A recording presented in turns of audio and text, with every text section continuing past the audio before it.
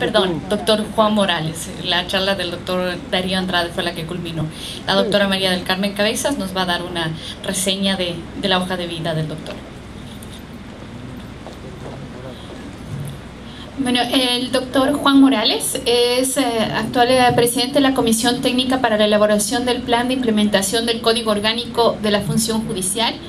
En su formación tiene un eh, diploma de estudios superiores a nivel de maestría en Teoría General del Derecho de Ginebra, en Ginebra, Suiza, un posgrado en Administración Cultural por CLADEC en Venezuela, un doctorado en Jurisprudencia por la Universidad de Cuenca y una licenciatura en Ciencias Políticas y Sociales de la Universidad de Cuenca.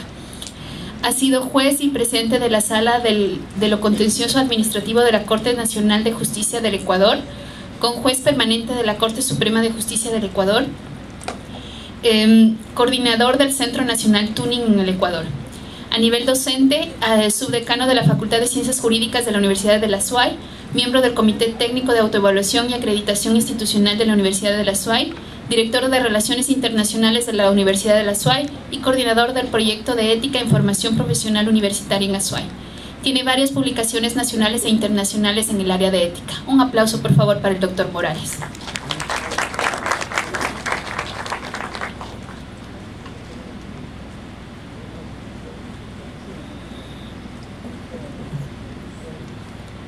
Buenas tardes a todos. Eh, eh, tal vez necesito un traductor para la cuencanidad, como, el, distinguido eh, doctor que me precedió. Algunas cosas, cuando el doctor Valdión intervino, se refirió al pensamiento de Einstein, y, y yo también ahora. No porque él sea especialmente bueno, porque en el Ecuador también tenemos gente que piensa muy bien, sin embargo, él también piensa bien. Eh, y él tiene una frase que tiene que ver con la ética, que está en un libro de él que se llama Mi visión del mundo. Él escribe como mucha otra gente escribe también sus ideas. Salvador Dalí tiene un libro que se llama Yo, son dos tomos, y escribe sus pensamientos. Entonces, eh, Einstein dice, en Mi visión del mundo, esta obra dice, el verdadero valor de un hombre se mide según una sola circunstancia. ¿En qué medida y por qué razón dejó su individualidad? El yo es precario, es no de no supervivencia, es absurdo, es mortalmente ineficiente.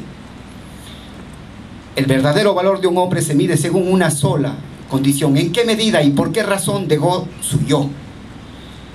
Eh, también me acordé del presidente Mujica, el ex Tupamaro, bonachón entre comillas, para nada, inteligente. Él tiene un, un, una obra que yo la conocí en algún momento, en algún lugar del Ejecutivo, del Gobierno Ejecutivo del Ecuador, eh, y se llama, y obviamente está en internet, se llama Discurso a los Intelectuales. Y allí él habla de cosas interesantes y se dirige a gente como nosotros. Podría hablar muchos conceptos de los que él dice allí, sin embargo hay uno que me, que me impresionó y dice que hay que sembrar el inconformismo desde el punto de vista científico. Yo diría, hay que sembrar en el Ecuador el inconformismo con nuestra manera de ser laxa, de medias tintas frente al respeto de lo que nosotros decimos.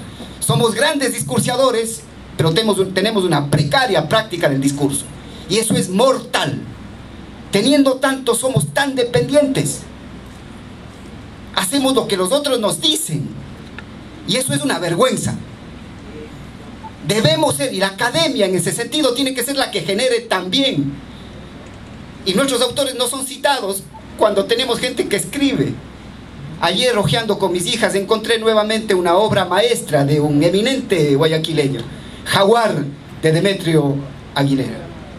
Y también me acordé de Siete Lunas y Siete Serpientes, que la gente dice que probablemente es el antecedente de Cien Años de Soledad.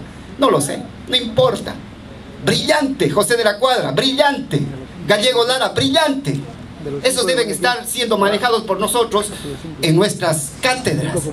Y Montalvo, y Peralta, y Adalberto Ortiz, y tantos y tantos que en ciencias sociales y en literatura tenemos para ir, instruirnos en el tema de ética. Porque la ética es un tema que tiene que ser manejado por los ecuatorianos. Naturalmente que los hermanos de otros lados nos vienen y nos dicen las cosas, eureka, aleluya. sin embargo es nuestro. Cuando la secretaria, la doctora Cornejo, habló, habló de que la ética no se enseña, y allí recordé a Piaget, Jean Piaget, el ginebrino, el psicólogo, y él dice precisamente lo que se manifestó, la ética no se enseña, es un tema de ejemplo. Claro, eh, ¿de qué me sirve conocer el imperativo categórico de Kant si es que no puedo cumplir con mi palabra de llegar temprano? ¿De qué me sirve la definición de Ulpiano de que la justicia es dar a cada quien lo que le corresponde si es que cuando estoy en algún puesto prefiero a mi pariente y si es que no prefiero a mi pariente para beneficiarlo, la sociedad y la familia me ven como algo incorrecto, estoy mal porque no prefiero a la gente de mi sangre, como si eso fuese. Entonces, ¿en dónde estamos? Y eso tiene una serie de explicaciones. Debemos cultivarnos. Y me acuerdo de un librito que les recomiendo. Podría recomendarles Atahualpa de Benjamín Carrión. Podría recomendarles Ecuador Drama y Paradoja del brillante guayaquileño Benítez Vinuesa. Y tantos otros. Para que nos digan cosas que nosotros sí sabemos.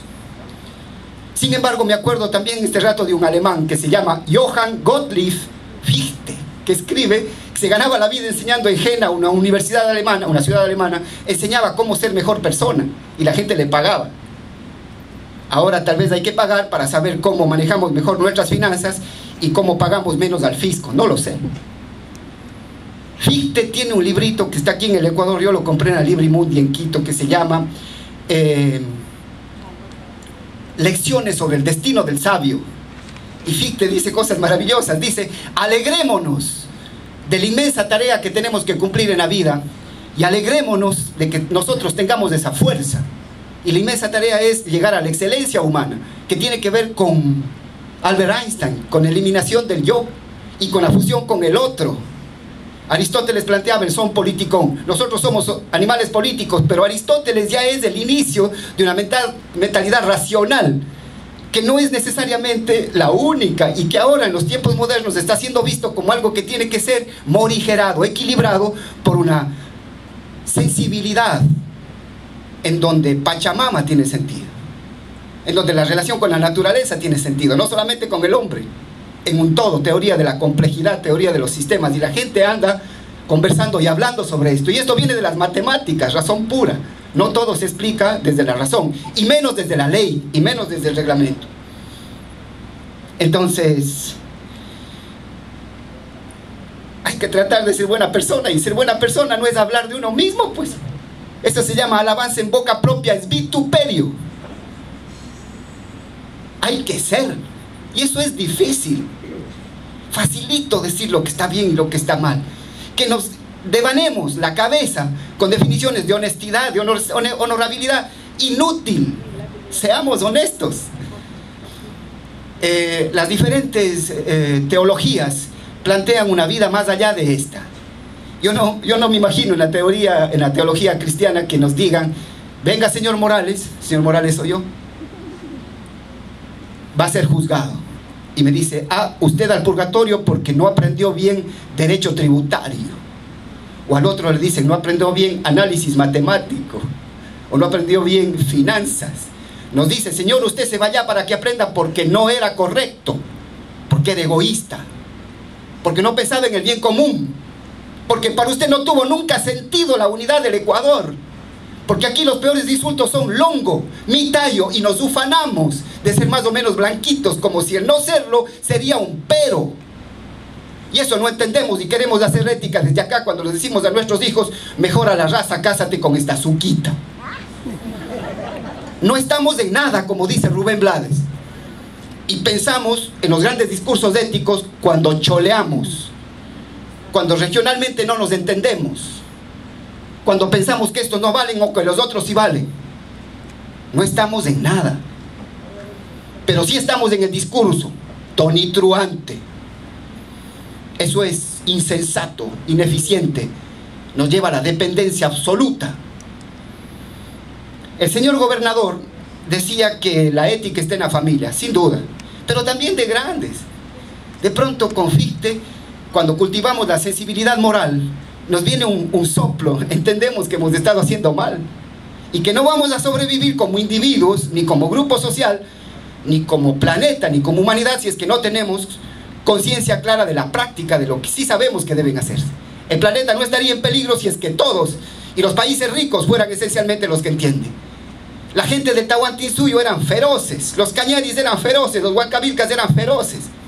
No entendíamos el alter ego, no entendíamos el bien común. Entonces, es un tema recurrente.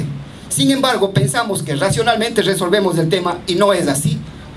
Es un tema de irse cultivando. ¿Cómo me cultivo? Tal vez subiéndome en transportes de Ecuador, o en flota imbabura, o bañándome en playas, y sabiendo lo que se siente, y leyendo a Benítez Vinuesa, y conociendo lo que pasa. Ahora estoy leyendo un libro morlaco impresionante del doctor Juan Cordero Íñiguez sobre la historia de los morlacos, desde los zigzales, 15 mil años. Ahí estamos.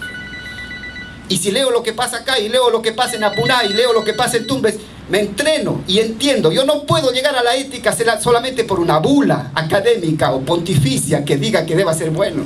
Tengo que encontrar los caminos para hacerlo.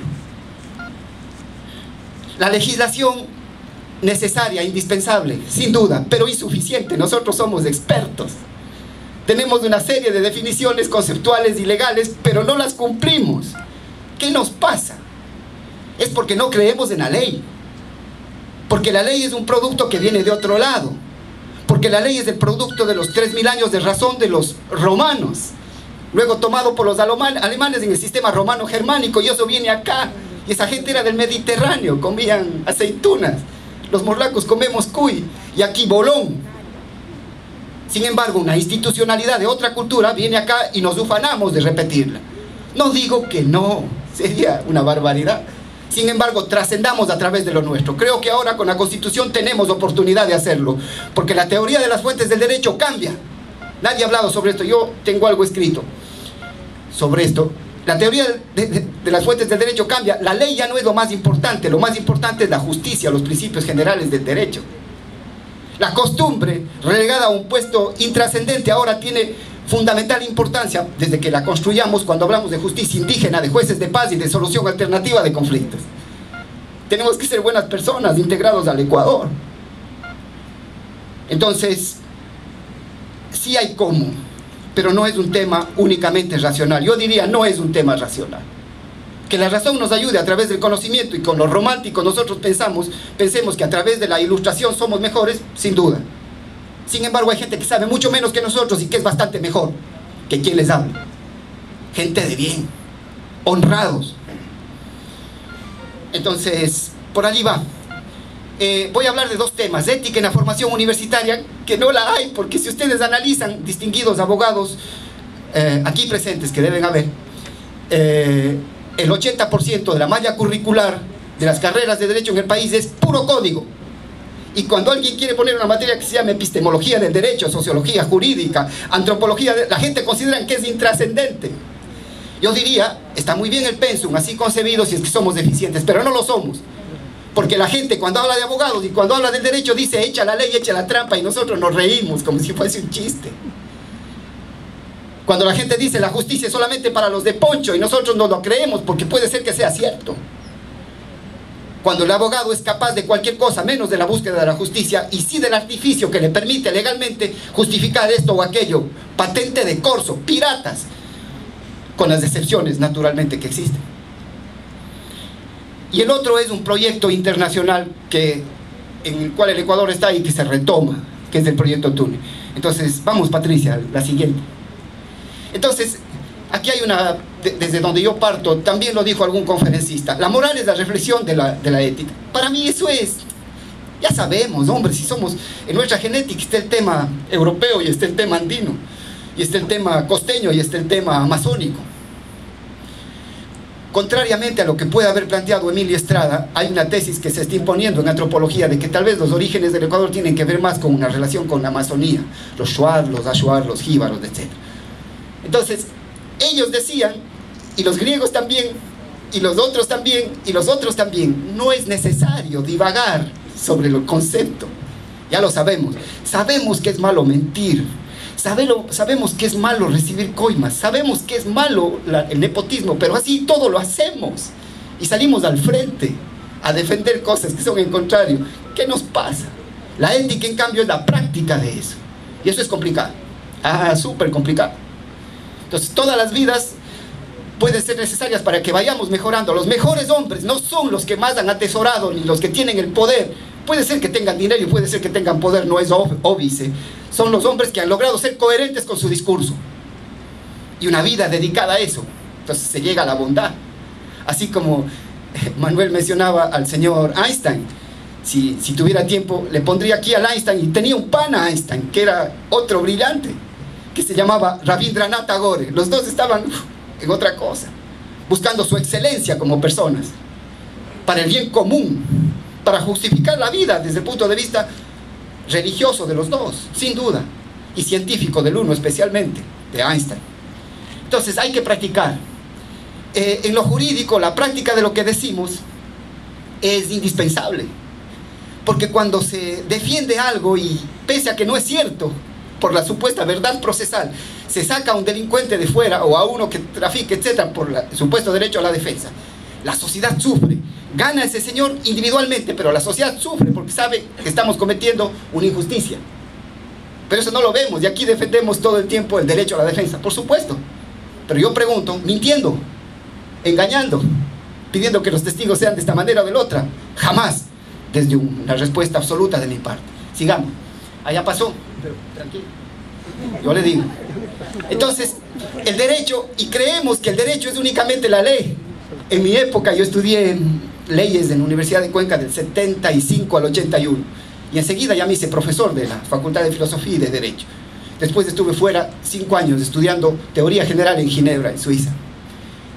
Entonces, ¿qué estudias leyes? Tienes razón, entonces de memoria las palabras de la ley se entenderán en su sentido natural y obvio, no se atenderá a su sentido literal a pretexto de consultar su espíritu. Brillante abogado, repite de memoria los dos mil y pico de artículos para estudiar así, pero no nos damos cuenta de que el derecho es otra cosa, porque no hemos entrado en la reflexión que sí entró Kelsen y que entró Hart y que lo tocó Bobbio y que antes lo tocó Aristóteles, que lo tocó Cicerón. El derecho es otra cosa. Y el derecho, según la Jus Filosofía, y los que están en el tema, yo soy uno, un repetidor, el derecho es la norma, sin duda, derecho positivo, el hecho social, sin duda, Guayaquil, Cuenca, Ecuador, Panzaleos, Cañaris, Paltas, Huancavilcas, por supuesto, y también es el valor, porque el derecho no se justifica por la pertinencia instrumental, sino por si llega o no llega a la justicia y al bien común, a la felicidad, a la paz social.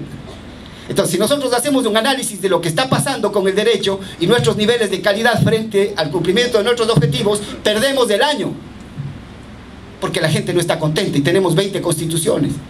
Porque la gente quiere participar. Porque la gente quiere que haya algo más. Entonces, si entendemos así el derecho después de un debate o de otra manera, no tengo, no faltaba más ninguna idea prefija, pero hablar sobre lo que es el derecho, entonces el pensum cambiaría. Entonces tendríamos materias para estudiar a la norma los códigos, pero además tendríamos teoría general del derecho que nos permite comprender la vida del silogismo jurídico, para que sepamos exactamente qué son fuentes del derecho y qué son teoría de la aplicación, interpretación con categorías intermedias como el razonamiento jurídico, como la argumentación jurídica, como la lógica jurídica, como categorías jurídicas, es estructura lógica del episteme eso es el positivismo jurídico y no como decimos que positivismo jurídico es repetir los contenidos de normas. Entonces nosotros repetimos contenidos de normas. Y eso es terrible. La norma tiene que responder al hecho social y a la búsqueda del valor que la sociedad quiera. Y no es lo que nos dicen otros, sino lo que decimos nosotros. Pero también para eso nos da pereza. Porque para hacer epistemología se necesita un tema serio o teoría general. Más fácil es copiar a don Andrés Bello, que a su vez vio la obra de Portaliz y la trajo acá. Ah, maravilla. Entonces ya está todo hecho. ¿Y eso qué tiene que ver con nosotros? La irreverencia puede venir de por ahí. Entonces, el derecho es muy complejo. Desde ese punto de vista, el, currículum sería otro. Entonces, códigos sin duda, pero menos, menos, menos. Teoría general del derecho, epistemología, importante para el hecho de la norma. Sociología jurídica, antropología jurídica. Estoy dictando desde hace algún tiempo en la Universidad Andina la cátedra de Sociología Jurídica en las maestrías. y me doy cuenta de muchas cosas. Sin duda que aquí he visto algunos personajes y la gran mayoría, todos, son personas ilustradas, pero yo me pregunto cómo se casaba el Huancavilca, cómo se casaba el de Tumbes, cómo se casaba el de la Puná, cómo se casaba el de la cultura machalilla, no sabemos, pero sí sabemos cómo se casaba el godo, el visigodo, el, el bárbaro, el normando. Y no construimos lo nuestro, porque eso es inmenso. Y es un tema de la universidad. Tenemos que fortalecer nuestra vinculación con lo nuestro. Materias como sociología, como antropología, como ciencia política, pero si les preguntamos de este momento, en el establishment, en el status quo, dicen, no, queremos que nos enseñes a hacer demandas, ¿para qué? Para ganarle al otro. Entonces estoy acabado. Y nos ven a los abogados como nos ven. Tuve el honor de dirigir, creo que se dijo en mi presentación, este documento. Durante un año trabajando con la gente de la función judicial, todos, fiscales, defensores, gente del Consejo la Judicatura, jueces, Ministerio de Justicia para planificar la transformación de la justicia en el país. Acá hay 110 millones de dólares en el presupuesto del Estado para crear jueces, para estar en información, en informática, para conectar a los servidores, para escuela judicial, para carrera judicial, etc. Ocho grandes proyectos. Entonces, el derecho es Habermas, que es un señor brillante como muchos otros, decía que después de, muchos años de estar en epistemología y en la sociología, él comprendió que el derecho era la creación humana más importante. ¿Por qué? Porque define la vida de la gente. Y define la vida de la gente obligatoriamente con la fuerza del Estado, de los jueces, de los policías.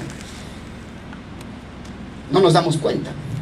Se reniega de eso. Y para los valores, tratar de ser buena persona. ¿Cómo? Ahí va. Filosofía, tal vez materias como filosofía, como deontología, como axiología, como estimativa jurídica. Sigamos. Sigamos, por favor. Entonces, trabajar en la norma, en el hecho y el valor. Y esto en las universidades debería ser una revolución. En la función judicial y también en las otras instituciones. Para que en lugar de estar buscando cómo pelear o cómo definir la vida del otro, y si no está definido en el reglamento ya no sabemos qué hacer, cuando nuestra constitución dice que en caso de controversia entre la ley y la justicia es la justicia la que prima, pero ¿cómo voy a hacer eso si es que soy malandrín? Si es que en corto hago cosas. Si es que soy habilísimo, pero soy tergiversador de la verdad. Sigamos. Entonces la constitución está llena de estas ideas, esta y las anteriores también. La, la administración de justicia es un medio para la justicia. La justicia es un valor. A la justicia, se me escucha, no, a la justicia no se llega por una fórmula ni por una norma, por supuesto indispensable y necesaria. Se llega por una condición de búsqueda del individuo de, hacer lo justo. Ulpiano decía la búsqueda permanente, no decía lo que cortamos, es, dar a cada quien lo que le corresponde. Decía antes, buscar la búsqueda permanente de dar. Entonces es una condición humana de, mejoramiento. Los franceses tienen una palabrita que es la misma de los españoles, que dice cultiver, que Alguien es cultivado cuando quiere ser bueno.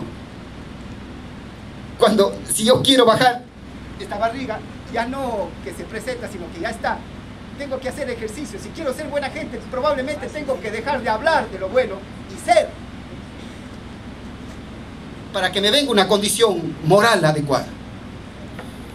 Entonces, habría, es decir, el justo no necesariamente es el ilustrado Aquí este país ha tenido toda la vida ilustrados. Y aquí veo gente, representantes de familias conspicuas. Por supuesto. Sin embargo, el bien común tiene que ser buscado cada vez con mayor atención. El bien común de los otros, el bien común de todos, la equidad. ¿Cómo yo llego a ese sentimiento? ¿Cómo llego a querer parecerme más al señor de Calceta, al de Ricaurte, al de Jadán, al de Checa, mi tierra, que al señor de París? Me enorgullezco de tener amigos en París y, no tengo, y tengo pena de tener amigos en Checa, como si Checa fuese más o menos que nada. No entendemos. Amor por la patria. Benjamín Carrión y todos los grandes. Porque el que quiere buscar nobleza, el que quiere buscar ética, naturalmente que aterriza en la yacta, en la de todos. La mala fe procesal el litigio malicioso, temerario, en fin, no tengo que, son temas que conocemos y en los que estamos. Terrible. La sanción está dicha, pero por supuesto que tiene sentido el instructivo y la sanción. Sin embargo, el planteamiento de la ponencia es que tiene más sentido el nivel de conciencia. Yo tomo, pero si es con Shumir, Ah, ya, está perfecto. Salud. Y eso no va. Opla, se regó. No importa. Y ustedes saben que Azuay significa chicha. Guapondeli, la tierra anterior, el nombre de los cañaris antes de que lleguen los incas, porque Huayna nació en Cuenca. Y Guapondeli significa valle de licor, por eso es que están ahí los de Shumir, los de Cristal, Ron San Miguel, etc. Ya es un tema tradicional. Déjelo nomás, voy a tener cuidado. Entonces, estas cosas que están allá, ¿cómo llego a eso? No diciéndole que repita de memoria en una cátedra de ética. A la ética no se puede llegar simplemente con repetición conceptual. Se tiene que llegar cuando comprendamos qué es turismo oriental, qué es Reina del Camino, qué es Transportes de Ecuador, qué es el Bolón, qué es la Guayusa cómo viven acá, cómo, y cuando nos deslumbremos con eso. Levi Strauss, Claude, cuando era un muchacho y salía de la Sorbona, fue contratado él y otra gente por el gobierno brasileño y empezó a trabajar en el Mato Grosso brasileño. Y el objetivo mayor de, de, Levi Strauss, como de cualquiera, pienso yo, él era un antropólogo, era integrarse con la gente. No separarse, decir, verás, aquí en Francia hacemos así. Y Voltaire tiene un librito que se llama El ingenuo en donde compara un habitante canadiense con el sofisticado cortesano parisino. Lo mismo todo, sin embargo hay, hay que validar lo propio, no es un tema cognitivo. Que lo cognitivo y lo racional nos ayuda a nivel de ilustración y de conocimiento de la patria, por supuesto. Es un tema, es un énfasis. Si no, ¿cómo llego al valor? Pues sigamos. Entonces, en el código orgánico igualmente, cambios radicales en la justicia, claro que hay que cambiar. Pero si yo pienso que los otros son y yo no soy, también estoy perdido porque el tema es de corresponsabilidad. A veces nos encanta no hacer nada y solamente estar criticando. Y esa canción que dice, me levanto en la mañana, como despacito y no hago más nada. Entonces es, la felicidad porque quiero descansar, porque no quiero producir, porque no quiero hacer ciencia, porque no quiero vivir con integridad, porque me cuesta, como a todos principio de imparcialidad, ah, es del primo, es la primita, la Enriqueta, no está con trabajo, dale un puestito, no seas mal, verás, toma el puesto, pero en corto. Entonces ese es un cáncer, ese es un cáncer, perdónenme, podemos hablar todo, entonces cuando, cuando entendamos que la virtud es un tema que se labora día a día y que ser virtuoso es el objetivo, entonces el tema cambia. Y ahí nos, ayudan las leyes y empecemos a hablar del, asesinato asistido, de la eutanasia o del tema del aborto. Pero si no son palabras en el aire, porque casa adentro estamos en otra cosa. Gratuidad. Ah, ni toco esto. De pronto la gente pide plata. ¿Cuánto hay? Y el abogado le pide plata. Entonces debe llegar a un señor, digo, con las excepciones, que por supuesto las existen. No es que todo sea malo, creo que no sin embargo, con el presidente Mojica es necesario ser inconformes. Y tenemos que hablar casa adentro. Yo soy de acá. Ya soy veterano y he andado por todo lado. Aquí con esta ciudad yo recibí toda la fuerza de esta ciudad durante 17 años. No vivía acá, pero estaba con una organización de acá, de la cual me honro. Y esta fuerza de Guayaquil es una fuerza que ha determinado el país, como la fuerza de otros lugares del Ecuador. Entonces, sigamos, vamos servicio a la comunidad, la, abogacía como una función social. Pero si no tenemos materias ni enfoques, si estamos estudiando solamente códigos, ¿cómo esto va a ser posible? Das ist unmöglich, dicen los alemanes. No es posible. Confidencialidad. Todo esto es terrenos que todos sabemos. Pero ¿cómo yo soy responsable? Si es que no estudio. ¿Cómo soy probo? Si es que soy así? ¿Cómo soy veraz si es que miento? Digo, un certificadito al primo para decir que has faltado. ¿Por qué has faltado? Di que estaban con fiebre, ¡pac! te dan. ¡Qué bestia! Y después queremos competir con los otros que sí son serios. ¿Qué pasa? No somos menos inteligentes que nadie porque sería una barbaridad. No entendemos cuál es la nota. Y eso puede tener explicaciones históricas de lo que pasó acá. Españoles que vinieron a llevarse un suyo que estaba rompiéndose. Guerras intestinas entre Atahualpa y Huáscar. aprovechamiento personal. Y luego, hasta ahora, el bien común creo que a los ecuatorianos se nos escapa. Dificilísimo. Y no es un tema de legalidad, es un tema de actitud, de respeto y de reverencia por el otro y por el entorno. Sigamos. Entonces, Osorio, eh, yo, yo, voy a tomar acá este, esta guayucita. Alguien que me ayude leyendo eso, por favor, alguien que tenga la fineza. Nadie. En el abogado la rectitud de la conciencia es mil veces más importante que el tesoro de los conocimientos. Nuevamente, abogada, por favor. Osorio, en el abogado la rectitud de la conciencia es mil veces más importante que el tesoro de los conocimientos, pues primero es ser bueno, luego firme, después prudente, la ilustración viene en el cuarto lugar, la pericia en el último. Si fusionamos acá y tal vez en otros lugares del planeta igual, nos morimos de hambre. Pero eso es indispensable que así sea. Pero la gente quiere a una persona que le diga que lo que es blanco tiene que ser de otro color. Y nos prestamos. Y eso es desprestigio. Eso es ineficacia del derecho. El derecho es demasiado potente como para que lo manchemos con intereses individuales y egoístas, que naturalmente tienen que ser defendidos, pero no desde el transigir con el valor y con el principio de cada quien. Sigamos. Entonces esto con relación al de, Osorio es un señor, naturalmente lo conocen acá, yo veo a distinguidos abogados, creo que estuvo por América Latina, por el Cono Sur en, en, los años 60 y 70. Tiene un librito chévere, doctor Huerta, que se llama El alma de la toga. Es que yo le conozco, doctor. Ya le voy a decir cómo, pero no en el micrófono. Ah, entonces. En cambio, yo no me acuerdo. Ya está, ya está. Eh, entonces, eh, Ángel Osorio, el alma de la toga. Entonces, el pensum tiene que cambiar. Y voy, voy aterrizo en eso. Entonces, el proyecto Tuning es un tema europeo de los años. Ellos empiezan con este tema en el 2000. Y para los europeos es una, una regla jurídica que tiene que cumplirse. Y llegaron al 2010 para permitir la comparación de titulaciones y la movilidad de la gente al interior de la comunidad. Para que el abogado de Lisboa pueda ejercer en Heidelberg o en München, o yo no sé, de manera mejor y que esas universidades puedan reconocer no solamente por la firma de un tratado, que está bien que firmen, pero si no han hecho lo mismo, entonces no le están dando nada, están dando una mera expectativa. En cambio aquí se plantea una metodología que permita la conexión. Tuning en inglés significa, tuning significa armonía, sintonía. Yo me acuerdo de, yo vengo de esa época también de los días de radio de Woody Allen o de la tía Julia y el escribidor de Vargas Llosa, en donde oíamos radio y radionovelas y nos hipnotizaban por la radio.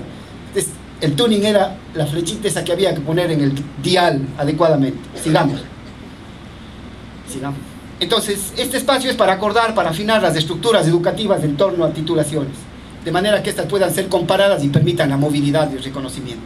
Sigamos. Entonces, esto viene a América Latina en el 2004. ¿Por qué? Porque los latinoamericanos, los latinoamericanos tenemos muchísimas cosas en común. yo creo que ahí andamos. Y precisamente lo que podemos aportar a la globalización los, ecuatorianos, los latinoamericanos es esa emoción y esa sensibilidad frente a la naturaleza y a los otros, que habría que ver. La razón, obviamente tenemos que transitar esos caminos. Sin embargo, el 1.5% de la producción científica en el planeta es de América Latina.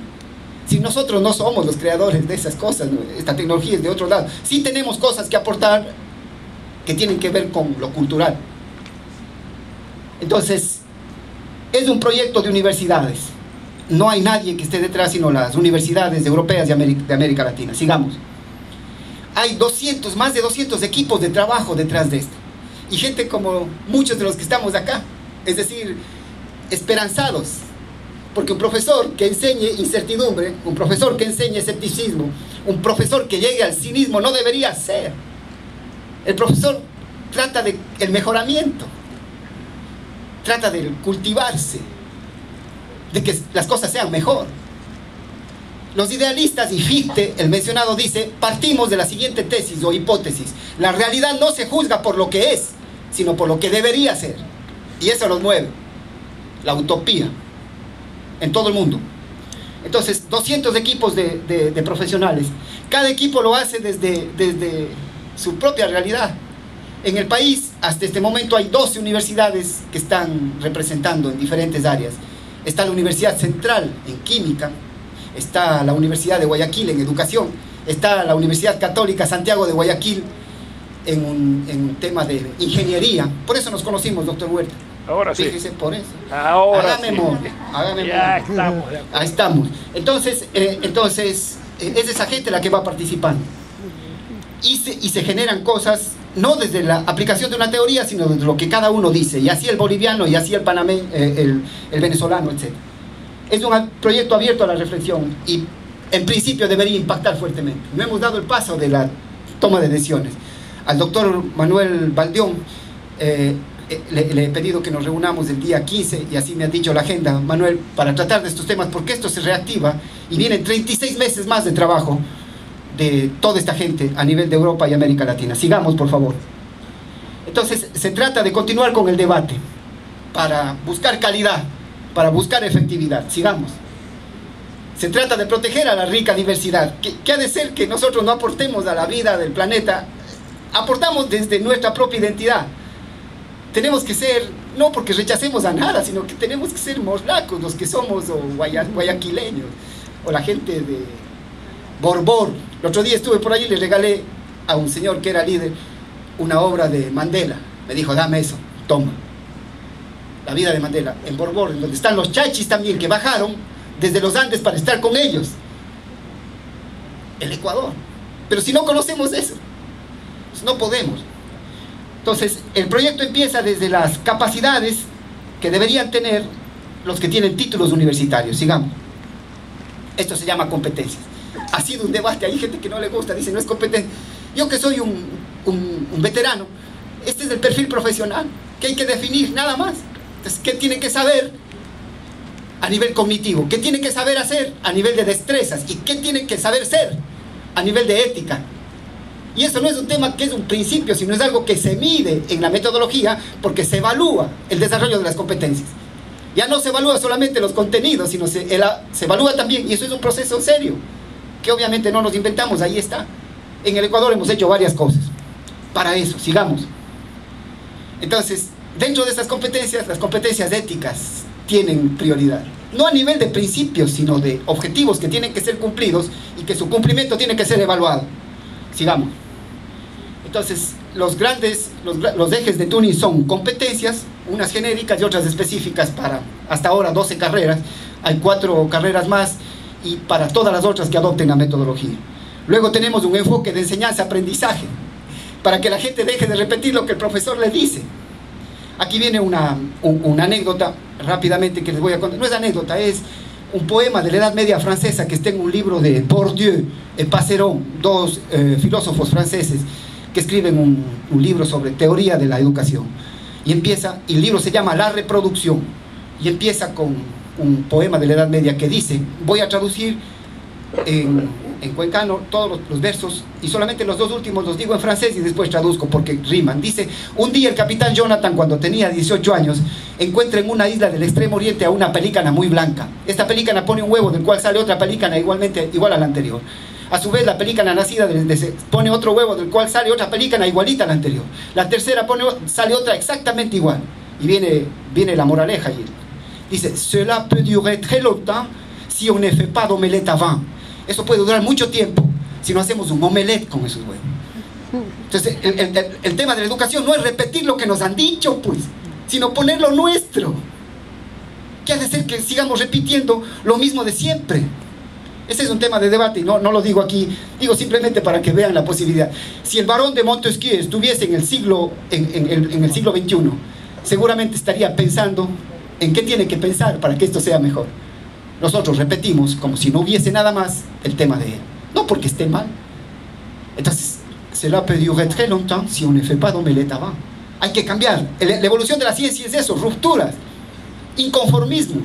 Yo no llego desde este celular viejito de hace 8 años a los que ustedes tienen, o pueden, si es que no hay ruptura, no es la repetición. Y si no se repite de memoria es gravísimo, se pierde el año. ¿Cómo ha de ser? Entonces, enseñanza, aprendizaje, para el aprender, aprender. Esto significa que el profesor es un facilitador. Y el profesor en Derecho tiene que decirle, ah, te interesa tributario. En, en tributarios también en Brasil. En la Universidad de Sao Paulo hay un profesor que está trabajando en el tema, tal vez puedes irte, te voy a dar los contactos. Pero también hay un seminario en Cartagena, entonces además de que te pases en Cartagena, vas a estar con la gente tributarista. Ah, y puedes irte también porque hay una relación con lo anglosajón que estamos tomando. Ese es el profesor. El que le guía como el papá. No el que le dice esto es y repite. Jamás. Y esa es una transformación. Sigamos. Créditos académicos. La comunidad europea ya lo tiene y el Cono Sur también.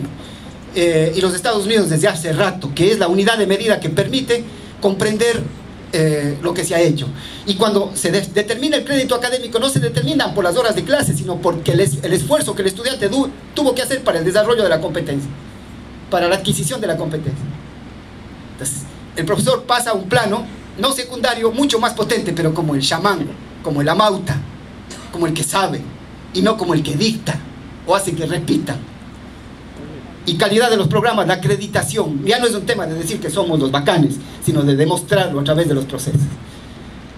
Y esos eh, indicadores, características, estándares, procesos complejos.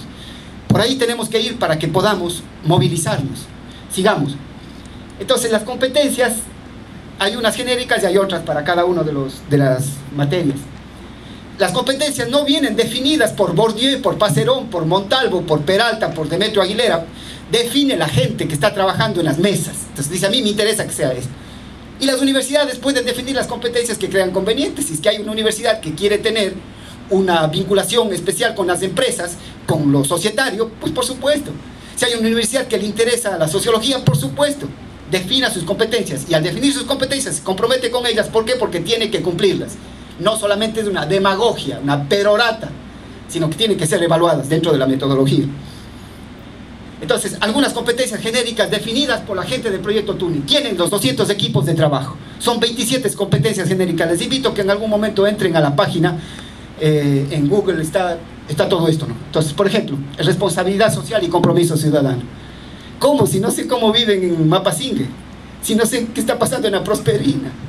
Si tengo miedo de irme al Guasmo. Si solamente quiero el molde del sol. O, lo, o al contrario tengo que, yo no desarrollo la responsabilidad social por una definición, sino por un compromiso. El otro día alguna persona me decía, ah, pero tú estás haciendo una, investigación antropológica para nada. Yo en Quito estoy, y conversaba con el general Bedón, mi amigo, estoy en Puengasí, estoy en Atucucho, ya no chico, ya no grande, La Bota, Carapungo, porque me interesa estar. Y viajo en bus porque me interesa.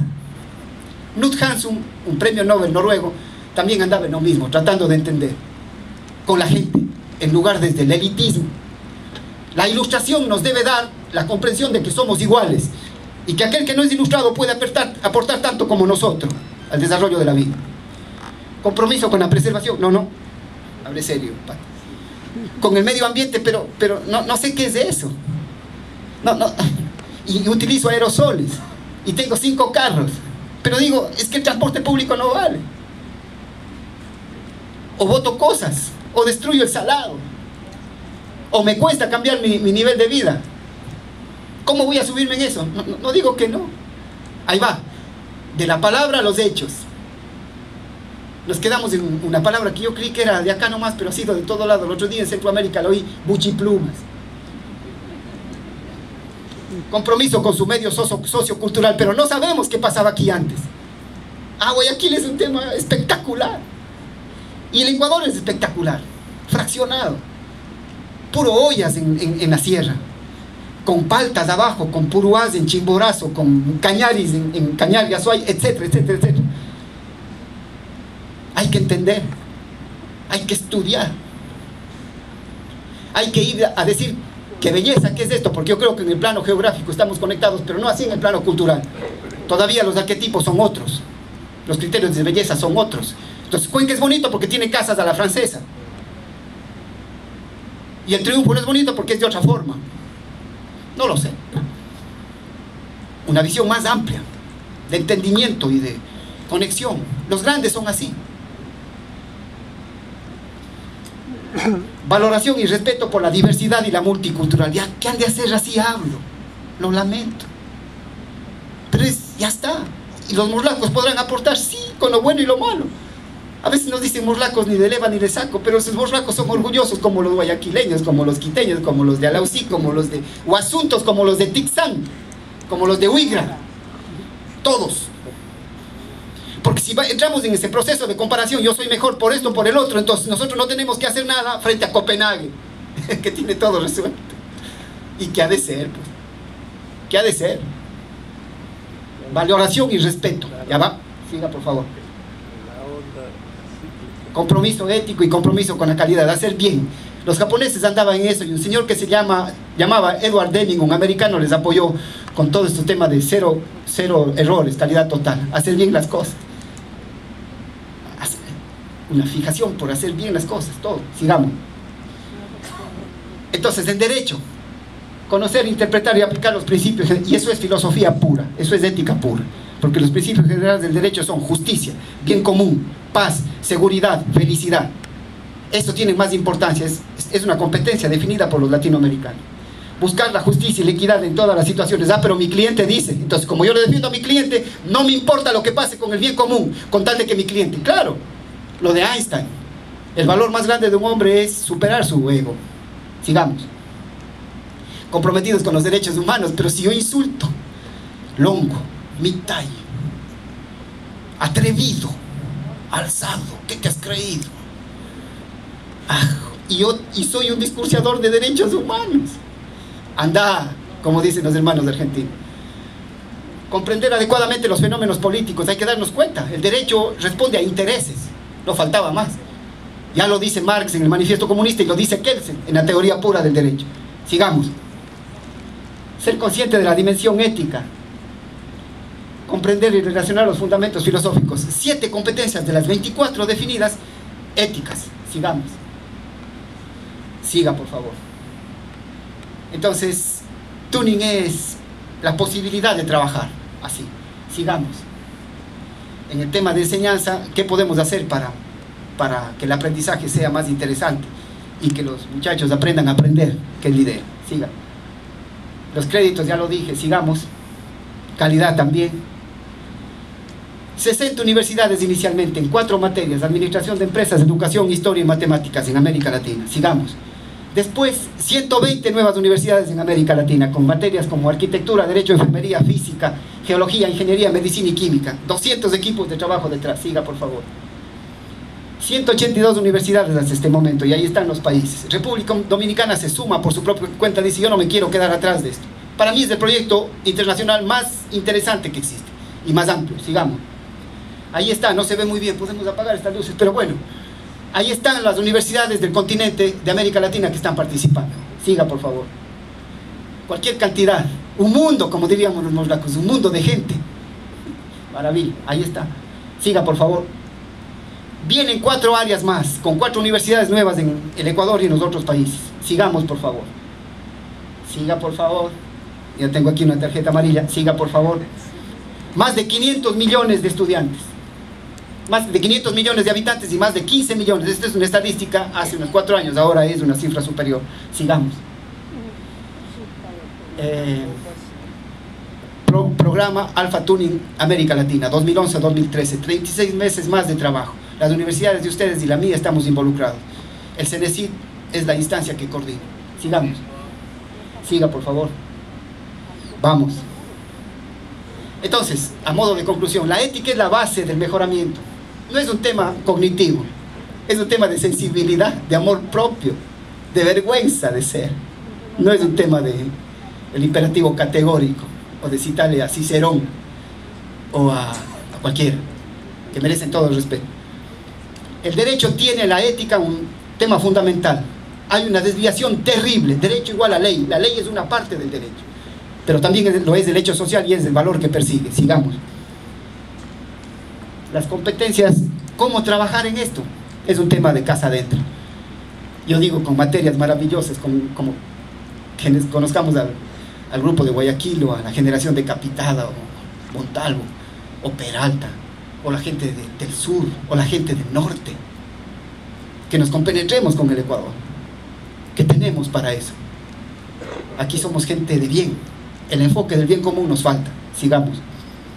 Gracias.